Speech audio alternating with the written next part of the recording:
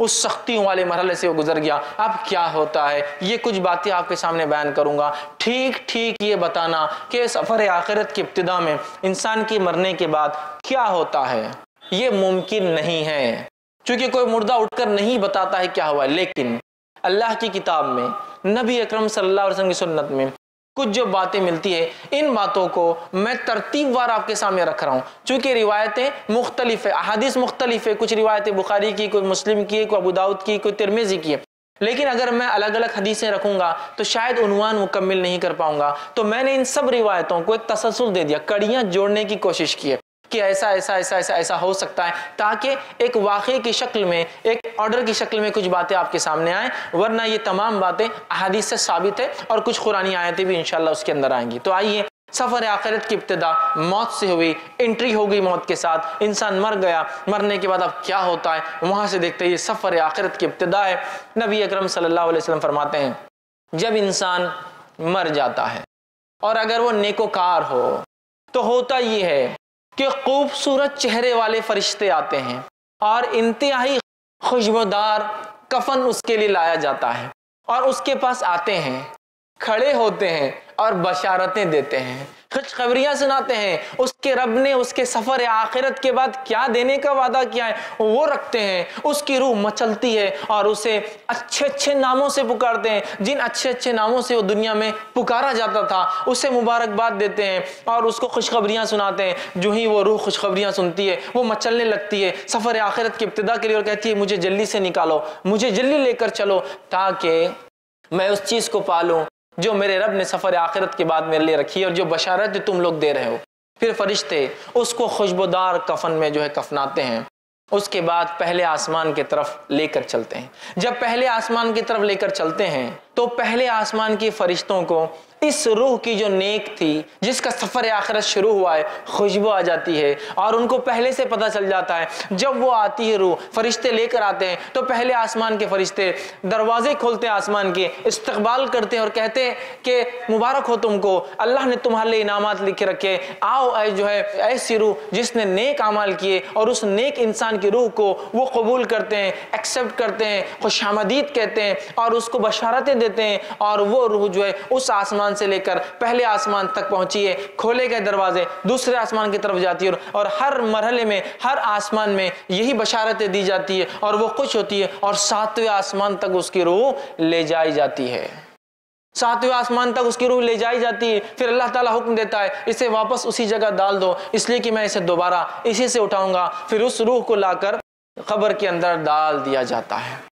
वो नेक इंसान, जब कब्र में डाल दिया जाता है तो डालने के बाद वो नेक इंसान जो कब्र में जो है बैठ जाता है, याद रखिए। और उसके बाद वो मरहला शुरू होता है, जो बहुत सख्त मरहला है, वो है सवाल और जवाब का मरहला। मुनकर नकीर, दो फरिश्ते दाखिल होते हैं। बहुत अंदाज़ा लगाइए, मिट्टी का घरोंदा है कब्र। ना कोई दिया है, ना कोई लाइट है, ना कोई ऐसे टिमटिमा, छोटी सी रोशनी भी मौजूद नहीं है। और उस कैफियत ने उस मिट्टी के नीचे इंसान दबा हुआ है। दुनिया में छोटे मोटे कीड़े मकोड़ों से लोग डरते हैं। अंदाज़ा लगाइए, अगर अमाल सही ना किए तो फिर ढेरों मन मिट्टी नीचे दबना है। कोई साथी नहीं, कोई लाइट नहीं, कोई मददगार नहीं और इतनी खौफजदा, खौफनाक, मुनकर और नकीर जो कबर मिट्टी को फाड़ते हुए आए। अंदाज़ा लगाई दुनिया में कोई इंसान गुस्से में आ जाए तो हम डर जाते हैं। वो फाड़ते हुए आएँगे और बिजली जैसी आवाज़ होंगी। लेकिन नेक इंसान आकर उसे उठाएँगे और उठाने के बाद उससे तीन सवाल करेंगे। और पहला सवाल किया जाएगा? मन रब्बू का तेरा रब कौन है? नेक इंसान इतमान से बैठेगा। और आप सब फरमाते हैं कि सूरज गुरूब होता दिखाया जाएगा। ये सब गायब की बातें हो रही है। खबर के मामला सफ़र आखिरत पूरा गायब से मुतल है। सूरज डूबता हुआ दिखाया जाएगा। वो कहेंगे, फरिश्तों सवालों के जवाब मैं बाद में देता हूँ। असर का वक्त जा रहा है। सूरज डूब रहा है, मैं नमाज़ पढ़ लेता हूँ। फरिश्ते बताएँगे, ये खबर है, यहाँ नमाज़ की ज़रूरत नहीं। तो कहेंगे हाँ ठीक है कंटिन्यू करो, आगे बात करते हैं। चूँकि वो दुनिया में नेकी का आदि था और बिलखसूस नमाज़ का आदि था, लिहाजा खबर में भी जब सूरज को डूबता हुआ देखता है तो कह रहा है कि असर का वक्त जा रहा है, मैं पढ़ लेता हूँ। तो अंदाज़ा लगाइए, नमाज़ के कितने फवायद है? बताया जाएगा, नहीं, खत्म हो गया, नमाज़ का अब सिलसिला नहीं है, अमाल खत्म हो गए, जो हो गए हो गए। अब तुम लिहाजा बैठो और जवाब दो। तो जब पहला सवाल किया जाएगा, वो कहेगा, मेरा रब अल्लाह है। दूसरा सवाल होगा, मन नबी का, कौन है तुम्हारे नबी? तो वो जवाब देगा, मेरे नबी मोहम्मद सल्लल्लाहु अलैहि वसल्लम है। तीसरा सवाल होगा, माँ दीनों का? दीन क्या है तुम्हारा? किस दीन पर थे दुनिया में? वो कहेगा, मेरा दीन इस्लाम था। ये कहने के बाद, जब एक नेक इंसान अपने सफ़र आखिरत के इब्तदा में जो टेस्ट उसका होगा, जो ओरल उसका लिया जा रहा है, जो वाइवा उसका हो रहा है, उसमें अगर वो राइट आंसर्स देता है इन तीनों क्वेश्चंस के तो नतीजा ये होगा, फरिश्ते सवाल जवाब का सिलसिला खत्म कर देंगे, तीनों जवाब इसने दिया है और एक खिड़की खोली जाएँगी। और जहन्नुम बताई जाएँगी और कहा जाएगा, ये वो चीज़ है जिससे तेरे रब ने तुझे बचा लिया, वो बंदा शुक्र अदा करेगा। और एक खिड़की खोली जाएँगी और बताया जाएगा, ये तेरा मुकाम है जन्नत में, ये तेरा मुकाम है। वो रूह मचल उठेंगी और वो फरिश्तों से कहेंगे, नेक इंसान अः फरिश्तों अरे फरिश्तों, मुझे मोहल्लत दे दो। मैं जाके अपने रिश्तेदारों को बता देता हूँ, ये मेरे रब ने नेकियों की वजह से दिया है। फरिश्ते कहेंगे, लौटने का चांस, लौटने का जो है कोई जो है, इसके अंदर इम्कान नहीं है। लिहाजा तुम इतमान करो। और फिर वो वो इंसान दुआ करेंगे, अल्लाह क़्यामत जल्दी कायम कर, क्योंकि वो मुकाम मुझे चाहिए। जो बताया गया मेरा वहाँ, और वो कहेंगे, क़्यामत जल्दी कायम कर ला ताकि मैं उठूं उस रोज़ और सफ़र आखिरत का जो एंड होगा, उसमें जो डेस्टिनेशन जो बताया जा रहा है, जो मुझे मिलने वाला है, ये मुझे जल्दी से मिल जाए और उसके बाद वो जन्नत की खिड़की खुली रहेंगी। उसकी कुछ हवाएँ वो महसूस करेगा, एक बेहतरीन बिस्तर उसके लिए बिछाया जाएगा और फरिश्ते कहेंगे, ऐ शख्स, आराम से इतमान से सो जाओ, तुम्हारा सफ़र मतलब उसका सफ़र शुरू हो गया। इतमान से तुम इस पे सो जाओ और उसको एक दुल्हन की तरह बिस्तर पे सुला दिया जाएगा। और उसके बाद वह इतमान से सो जाएगा, अल्लाह की तरफ़ से हुक्मगा इसका नाम इल्लीन में नेकोकारों के रजिस्टर के अंदर इंदराज कर दिया जाए, लिख दिया जाए। उसका रजिस्टर में नाम लिख दिया जाएगा नेकोकारों की। आइए इसके बिलमुकाबिल। वो इंसान जो गुनाह करता था, मासियत, जुर्म, कुफ्र, शिरक, निफाक, उसकी ज़िंदगी उसमें गुजरी। इस शख्स की मौत कैसी आती वो भी देखिए। इसका सफ़र आखिरत। स्टार्ट कैसा होता वो भी देखते हैं हम। अल्लाह रब्बुल इज़्ज़त हम पर रहम करे और हमारी हिफाजत करे। बहुत सख्त सफ़र है। वैसे मौत की हौलनाकी कितनी ख़तरनाक थी, लेकिन एक जो गुनाहगार इंसान होता है, उसके पास फरिश्ते जब उसकी रूह का वक्त आता है, पहले तो कहता मोहलत दी जाए, छूट। ढील दी जाए। कहा जाता ढील नहीं है। उसके बाद फरिश्ते, जो कि इंतहाई घटिया सूरतों में, बुरी सूरतों में आते हैं और इंतहाई बदबूदार टाट का टाट का एक उसके लिए कफन लाते हैं और लाने के बाद कहते हैं कि अः मखजूब रूह, अल्लाह का तुझ पर गजब होने वाला है, तूने गुना और मासीत के निकल। तेरा मुकाम ये चूँकि जैसा नेक आदमी को बशारत दी जाती है, इसको इसका मुकाम के ताल्लुक से बशारत दी जाती है। निकल, तुझे यहाँ जाना है। और वो गुनाहगार इंसान कहता है कि नहीं, मैं नहीं निकलूँगा। उसकी रूह जिस्म के अंदर जाती है। जब रूह अंदर जाती है तो उसी माहौल की, उसी हालत की एक तस्वीर अल्लाह ने बयान की कहा व नाजियाती गरक़ा कसमन फरिश्तों की, जो रूहों को जिसम में डूब डूब कर गौते लगा लगा कर खींच कर निकालते हैं। चूँकि उसकी रूह बाहर आना नहीं चाहेंगी।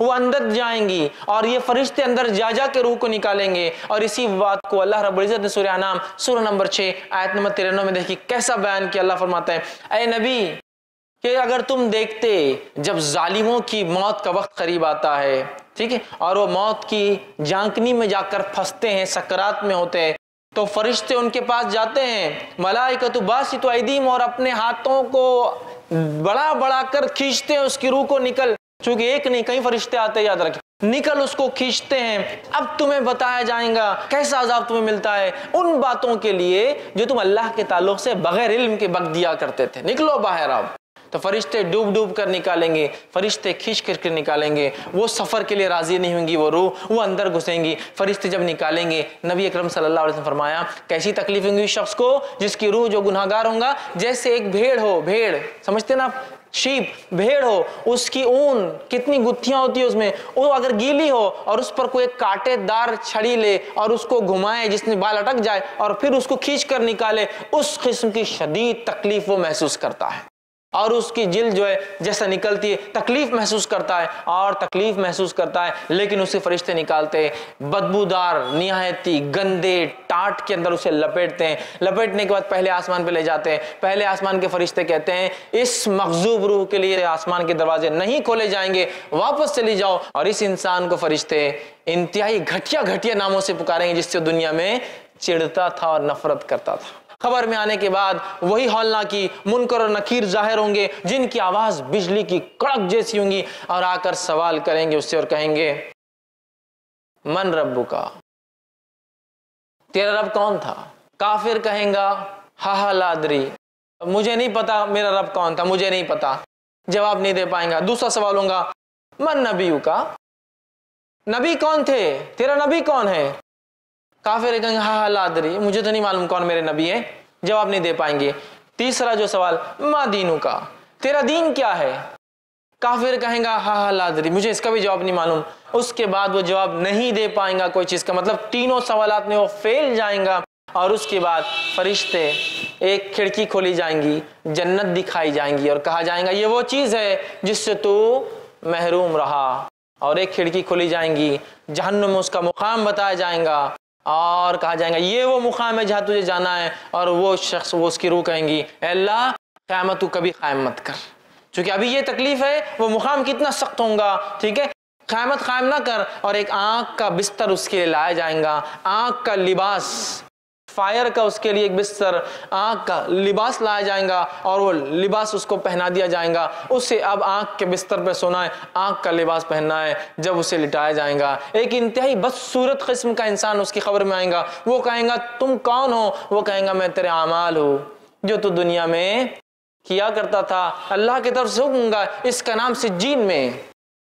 इसका नाम रजिस्टर में इंदराज कर लो, रजिस्टर में लिख लो। सिज्जीन में, उन लोगों के रजिस्टर में जो गुनाहगारों का रजिस्टर है, जो कैद खाना है, जो जेल है, उसमें इसका नाम लिख दो। उसका नाम रजिस्टर कर लिया जाएगा उस मामले में और वो क़्यामत तक तकलीफ़ के अंदर लेटने वाला है। इन मरहलों पर थोड़ा गौर कीजिए। कैसा अजीब सफ़र है। कैसी खतरनाक इब्तदा है। और हमारी इसके लिए क्या तैयारी है, ये सोचना सबसे इंपॉर्टेंट पॉइंट है, सबसे अहम मामला है। ये नुकता सबसे अहम है। आज दुनिया की ज़िंदगी में हम इतने गर्क हैं कि हमें कुछ नहीं समझ में आता सिवाय माल, दौलत, बीवी, बच्चे, घर, जायदादें, अच्छी अच्छी गाड़ियाँ और स्टेटस और मुकाम। इसके अलावा हम कुछ नहीं करना चाहते, याद रखिए, कुछ नहीं करना चाहते ये सफ़र कैसे तय करेंगे? अगर आप एक सफ़र करके जाते हैं किसी दूसरे शहर में और उस होटल के अंदर गद्दा बराबर ना हो, रुई बराबर भरी ना हो, या फिर गद्दा स्पेशल टेक्नोलॉजी से अगर बना बना हो तो सुबह उठ के हम कहते हैं, पीठ साथ नहीं दे रही है। आज काम बराबर नहीं होगा। अंदाज़ा लगाइए उस चीज़ का जो गुनाहगार के साथ हो रही है। आँख का बिस्तर, आँख का लिबास, किस किस्म की तकलीफ़ है? तो इस सफ़र आखिरत को हम मामूली ना समझे। अगर इसके इब्तदाई मरहले ऐसे हैं तो अगले मरहल कैसे होंगे? हम अंदाज़ा लगा सकते हैं, याद रखिए। तो लिहाजा ये बद और नेक का था अब एक मामला यहाँ जो हो रहा है अमाल आमाल वो साथी है जो साथी हमारे साथ खबर में आने वाले हैं, जिसको हम सबसे बड़ा दुश्मन समझते हैं अपना।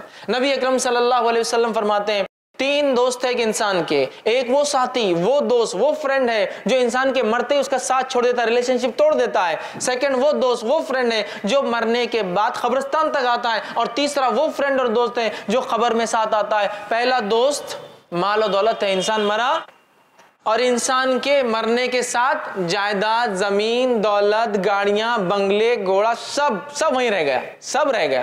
पहला दोस्त तो साथ छोड़ देता है। अगला मरहला नेक्स्ट फ्रेंड को देखते हैं।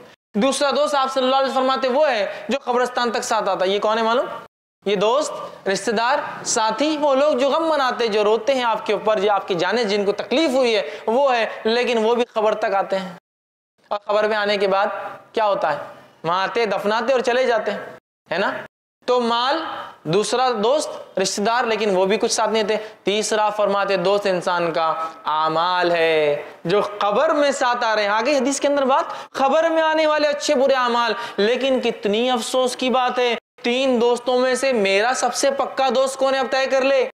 और देखा यह जा रहा है कि आजकल हम लोगों का सबसे पक्का दोस्त तीसरा नहीं है वो अमाल पहला सबसे पक्का दोस्त माल है भाई, माल। इसके वजह से रिश्तेदारियाँ तोड़ दी जाती है। इसको कमाने के लिए हलाल और हराम की तमीज छोड़ दी जाती है। इसको कमाने के लिए सब कुछ किया जा रहा है। इसको कमाने के लिए, हासिल करने के लिए गबन, तकलीफ़, ठीक है? इसके बाद लोगों के हक मारे जा रहे हैं। इसी के लिए तो दुनिया में सब कुछ हो रहा है, याद रखिए।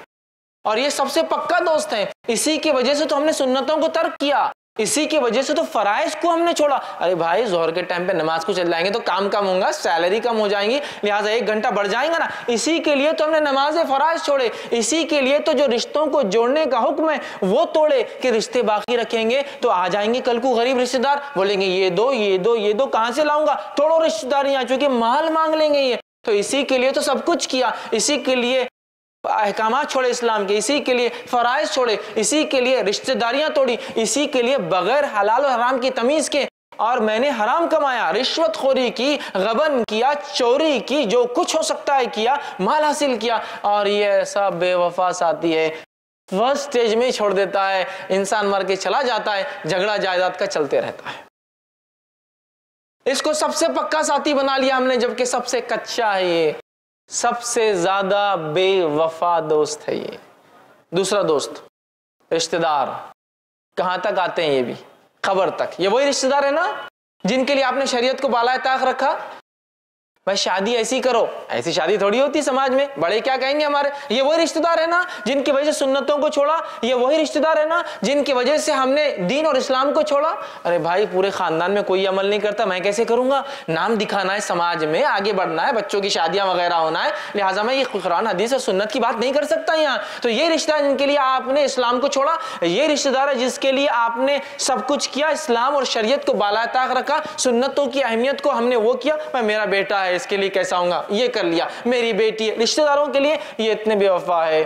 बस खबरस्तान तक आएँगे, दो आँसू बहाएँगे। बीवी हो तो चार महीने दस दिन गम करेंगे, उसके बाद सब कुछ दुनिया का चलने लगेगा। कोई साथ नहीं आ रहा माल, कोई साथ नहीं आ रहा खबर में एक भी रिश्तेदार जिसके लिए ये दो फ्रेंड्स के लिए सब कुछ किया, ये सबसे बेवफा है। तीसरा जो दोस्त है, जिससे सबसे कम और हल्की दोस्ती और फ्रेंडशिप है मेरी और आपकी आज, वो वो है अमाल ये ज़िंदगी में भी साथ है। ये कब्र में भी साथ है, ये मकाम महशर में तराजू में भी तोला जाएगा और इंशाल्लाह अल्लाह के फजल और रहम के बाद ये वजह बनेगा जन्नत में जाने की। आमाल आमाल, लेकिन आमाल बाद में, पहले माल, फिर रिश्तेदार क्या बोलेंगे? यही मामला है ना? देखिए, कोई काम करना है नहीं भाई, इससे पहले तो देख लो बिज़नेस पे क्या फ़र्क आता। दूसरा, रिश्तेदार क्या बोलेंगे? अरे, नहीं तो सुन्नत है। रिश्तेदार क्या बोलेंगे? भाई, समाज में रहना है ना? उसके बाद अमाल का सोचा जाएगा। तो ये दोस्त, ये अमाल, जिसको हमने सबसे कमज़ोर दोस्त बना लिया, उससे वो मज़बूत दोस्ती और रिश्ता नहीं रखा, यही वो अमल है जो हर जगह आने वाला है। खबर में भी आएगा, खबर में भी आएगा। एक तो मसला हल हुआ। दूसरा, सवालात तो कितने आसान दिखते हैं ना? मन रब्बू का, रब्बी अल्लाह, मेरा रब अल्लाह, कितना आसान जवाब है? मन नबीयू का, मेरा नबी कौन है? कितना आसान जवाब, किसको नहीं पता? कि नबी मोहम्मद सल्लल्लाहु अलैहि वसल्लम है हमारे। आसान? माँ दीनों का, दीन क्या था तेरा? कितना आसान है दीन इस्लाम? तीन सवाल और तीन अल्फाज में जवाब है इसके। अल्लाह, मोहम्मद सल्लल्लाहु अलैहि वसल्लम और इस्लाम। मैं तो यूँ ही दे दूँगा, मेरे भाइयों, इस बात को गौर से हम सुने और समझे। इन तीन सवाल का जवाब वही आदमी दे सकता है जिसकी ज़िंदगी इन तीनों के मुताबिक गुजरी हो, याद रखिए। इन तीन सवाल जिसने अल्लाह को वाकई में रब माना, उसके साथ कभी शिरक नहीं किया, उसकी तोहहीद पर ज़िंदगी गुजारी, उसके अहकाम को सुना, उसके हराम को हराम जाना, उसके हलाल को हलाल जाना, उसकी इतात उसकी शरीयत की इतात की, उसकी फरमरदारी में ज़िंदगी गुजार दी, उसकी मोहब्बत के लिए दुनिया में सब कुछ किया तो वो कह सकेंगे, मेरा रब, अल्लाह है। अल्लाह एक लफ्ज है ना सिर्फ़। क्यों नहीं कह सकूँगा नहीं कह सकेंगे जिसकी ज़िंदगी इस पे नहीं चली हो? हम शिरक, कुफ्र, मासियत, अहकाम को तोड़ना, हराम में ज़िंदगी डूबी हुई है, मनमानी ज़िंदगी गुजार रहे हैं। नहीं नहीं, अल्लाह ताला फिर भी हमको ये नहीं, ये लफ्ज नहीं आएगा जबान पे, याद रखिए। ये तो उसी की जबान पे आएगा जिसकी ज़िंदगी अल्लाह को रब मानते हुए गुजरी हो और अल्लाह को रब मानते हुए दुनिया से चला गया हो, याद रखिए। और इसी रब के लिए उसने लोगों से रिश्ते तोड़े, इसी रब के लिए लोगों से उसने लड़ाइयाँ की, इसी रब की खातिर दोस्ती हुई, इसी रब की खातिर दुश्मनी हुई, इसी की खातिर हराम को छोड़ा, इसी खातिर हलाल को किया। इसने कहा था, रिश्तेदारियाँ निभाओ तो मैंने कर लिया था। सब कुछ अल्लाह के लिए हुआ। वो कह सकेंगे, मेरा रब अल्लाह है। दूसरा, मेरा नबी कौन है? मोहम्मद सल्लल्लाहु अलैहि वसल्लम। कितना आसान है। लेकिन ये वही कह सकेगा, जिसकी ज़िंदगी नबी अकरम सल्लल्लाहु अलैहि वसल्लम की इत्तबा में गुजरी हो। मनमाने ढंग से ज़िंदगी गुजारने वालों को यह जवाब नहीं मिलेगा, इसका याद रखिए। जिसने, जो सुन्नत को बाला ताक रखा सुन्नत क्या है? कर लिए तो अमल ठीक, नहीं करे तो चलता, माहौल बना दिया गया ये। सुन्नत पे अमल करे तो ठीक, नहीं करे तो चलता है, ऐसा कोई मसला नहीं इतना। माहौल बना दिया गया आज ये। सुन्नतों को मज़ाक समझ रहे हैं। सुन्नतों का इनकार करना फ़ैशन बन चुका है आजकल, मालूम? अरे ये हदीस तो मेरे पल्ले नहीं पड़ रही भाई, समझ में नहीं आ रही, रद्द। अरे ये हदीस तो मुझे समझ में नहीं आ रही, रद्द। अरे ये हदीस तो इसके खिलाफ दिख रही मुझे। रद्द। अरे ये हदीस में तो फलाए रद्द। मतलब तुम्हारी अखलें जांचेंगी अब सुन्नत को। सुन्नत का इनकार किया पूरी ज़िंदगी, मनमानी ज़िंदगी गुजारी। तो फिर क्या वो ये कह सकेंगे, मेरे नबी मोहम्मद सल्लल्लाहु अलैहि वसल्लम है? याद रखिए, जो नबी अकरम सल्लल्लाहु अलैहि वसल्लम की मोहब्बत करता है, मोहब्बत का तकाजा इतात और फरमबरदारी याद रखिए। इसलिए कि आप सल्लल्लाहु अलैहि वसल्लम फरमाया कि जिसने मेरी सुन्नत से मोहब्बत की, उसने मुझसे मोहब्बत की। मनाहब सुन्नति फमनाहबनी उसने मुझसे मोहब्बत की। व मनाहबनी का नमा फिल जन्ना, और जिसने मुझसे मोहब्बत की, मेरे साथ जन्नत में होगा।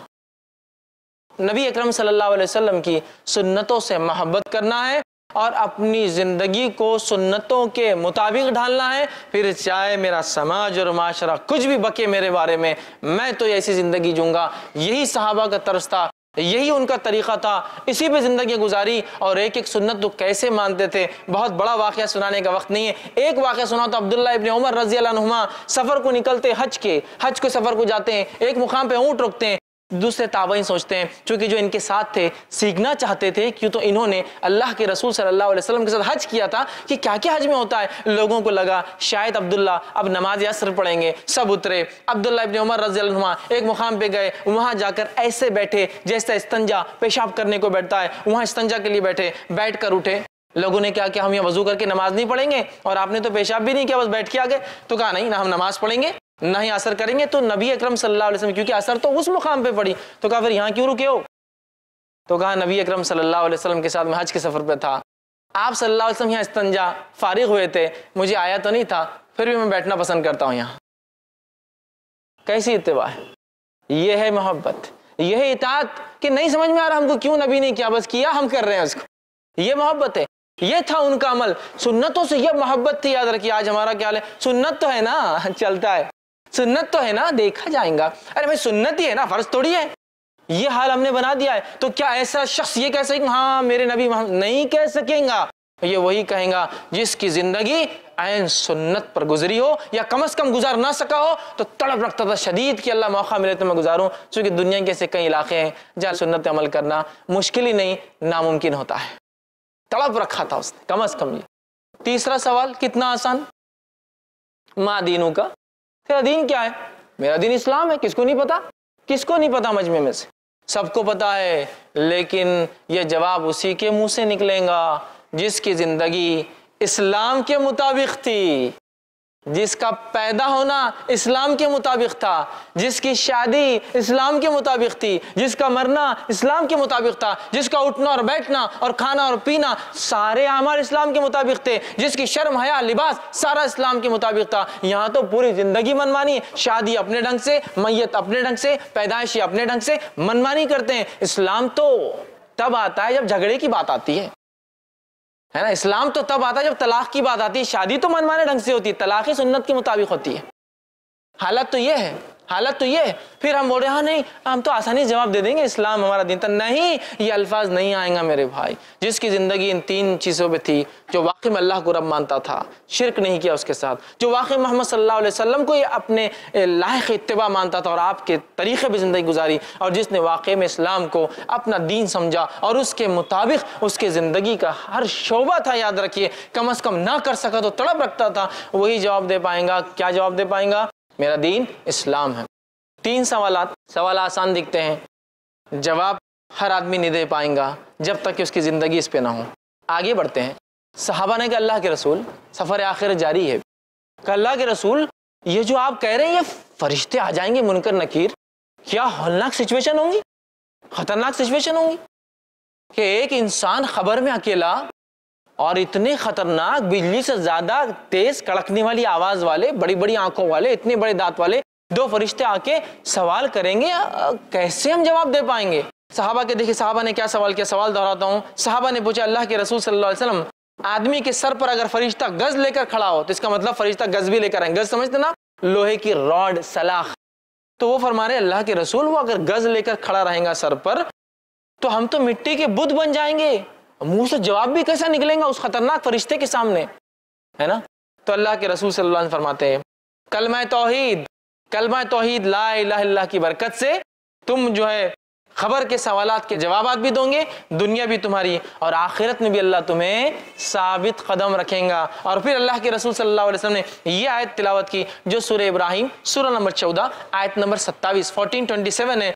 युसबितुल्लाजीन आमन बिलखौल साबिती फ़िल हयाती दुनिया व फिल आखिर।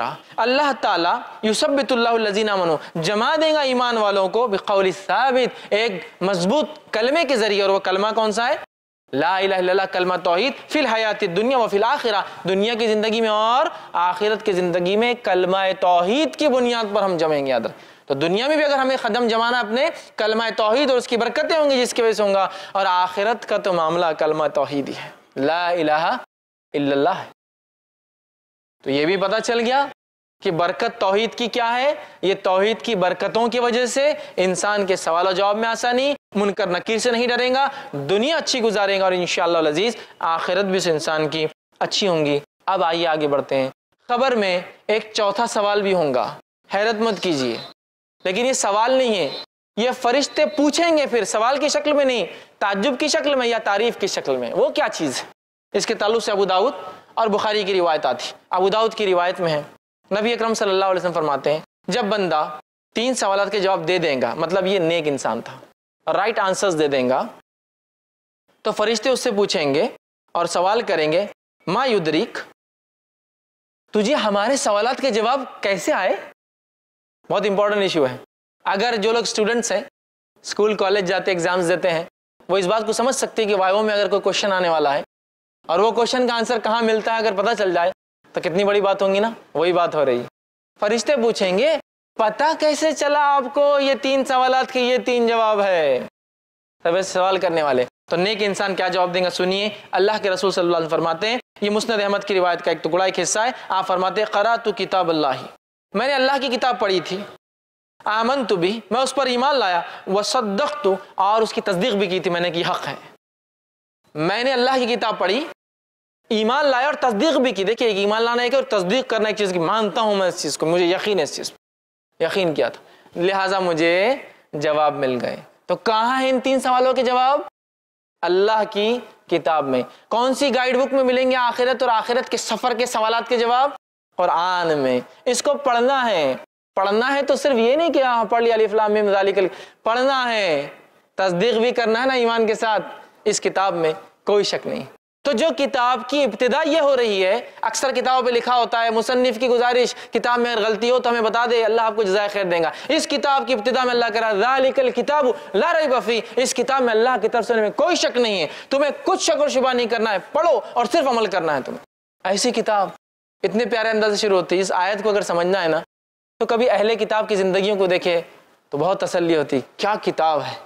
अहले किताब सिर्फ़ यही तय करते परेशान है, ये किताब का हिस्सा है, या किताब का हिस्सा नहीं है। ये किताब का हिस्सा है, या ये किताब का हिस्सा नहीं है। एक ज़माने में ये किताब थी, अगले ज़माने में रद्द हो गई। एक ज़माने में ये थी, अगले ज़माने बोलते ये मौजूद थी। ये हालत है, अल्हम्दुलिल्लाह। इस किताब को सिर्फ़ आप खोल रहे हैं और इसमें लिखा हुआ है, इस किताब में कोई शक नहीं। लेकिन जिस चीज़ में जब शक नहीं होता है तो इसका क्या माना होता है मालूम आपको? इसका माना होता है, फिर उसे अमल करना भी लाजिम है। हुकूमत ने कानून पास किया। कानून अगर हुकूमत की तरफ़ से कोई शक नहीं है तो अमल करना लाजिम है। ज़ालिकल किताबुल कुरान। कुरान, पढ़ना है उसको। देखिए, शुरुआती हो रहा तो इतनी बेहतरीन बात से तो आगे क्या क्या होंगे असबाक, पता नहीं। है ना? मतलब पढ़ते जाएँगे तो खजाने पे खजाने। तो कहा, मैंने कुरान पढ़ा था। Question three answer guide book बता दी गई क्या है। अब दूसरा आदमी, जो जवाब नहीं दे पाएगा, फरिश्ते पूछेंगे, क्यों जवाब नहीं दे पाया? और कोई अच्छी बात तो नहीं करेंगे उससे। क्यों जवाब नहीं दे पाए? तो वो कहेंगे, अल्लाह दराइता वाला तलाइता मतलब क्यों जवाब नहीं दे पाए? तो वो कहेंगे, ना मैंने कुरान पढ़ा, ना समझा। तो फरिश्ते कहेंगे, तूने ना जाना, न तूने पढ़ा। और एक फरिश्ता, एक रिवायत के मुताबिक गज लिया हुआ फरिश्ता, और एक रिवायत के मुताबिक जो सही बुखारी की है, दो हथौड़े लिया हुआ फरिश्ता होगा, हथौड़े, ठीक है? गज गज नहीं, हथौड़े हथौड़े समझते ना आप? हथौड़ा जो होता है, पत्थर तोड़ने में जो वो दो हथौड़े लेंगे, और जब पूछेगा, तूने ना पढ़ा, ना समझा?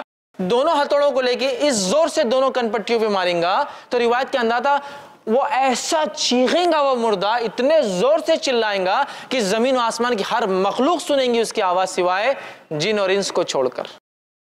और उसका सर जर्रात में तब्दील हो जाएगा। और यही अजाब उसको क़यामत तक दोबारा उठने तक मिलने वाला है। आँख का बिस्तर, आँख का लिबास, हथौड़ों का अजाब। एक रिवायत में गज के है, गज। वो गज लेके खड़ा होगा और गज लेके खड़ा होगा और इस ज़ोर से मारेगा और ये गज वाले फरिश्ते और हथौड़े वाले फरिश्तों की दोनों की खसूसियत ये दोनों अंधे और बहरे हैं। सुनते भी नहीं है, देखते भी नहीं है। चाँद जर्रा बराबर भी नहीं है कि कुछ वो कर सके। ना सुनते हैं, ना देखते हैं क्या हो रहा है, लेकिन मारते हैं। अगर दोनों रिवायतों को मिला लिया जाए तो माना ये हुआ तो एक फरिश्ता कनपट्टियों पे मारता है हथौड़े से और एक फरिश्ता पीछे से खड़े होकर सर पे मारता है गज। दोनों रिवायतों को मिलाती माँ। तो उस गज के तालु से उसने फरमाया, जब वो गज उठाता है और मारता है उसके सर पर, चूँकि सफ़र आखिरत की तैयारी नहीं करके आया था तो वो गज जब सर पर पड़ता है तो उसका सर जर्रात में तब्दील हो जाता है। और आप सल्लल्लाहु ने फरमाया, क्या तुम जानते हो ये गज के बारे में कैसी गज है वो, जो लोहे की सलाख है? साहबा ने कहा, आप बताइए कैसी है? तो कहा, ये गज ऐसी है कि अगर एक बड़े पहाड़ पर मार दी जाए तो एक वार से पूरा पहाड़ जर्रा जर्रा समझते ना? जर्रात उन पार्टिकल्स को कहते हैं जिनको बगैर फूके के खुद ब खुद उड़ते रहते हैं इन्वायरमेंट के अंदर एटमोसफियर में। जर्रात में तब्दील हो जाएगा। और फिर आपने फरमाया, ये गज कितनी वजनी बताऊँ? इतनी वजनी है कि सारे इंस आदम सलाम से लेकर आखिरी बच्चा जो पैदा होगा और सारे जिन निबलिस से लेकर आखिरी जो जिन होगा, सब भी अगर जमा हो जाए और इस गज को हलाना चाहे तो हला भी नहीं सकते हैं। इतना वेट होगा उसे एक गज का। तो कनपट्टी पे हथौड़े, सर पे गज मारा जाएगा।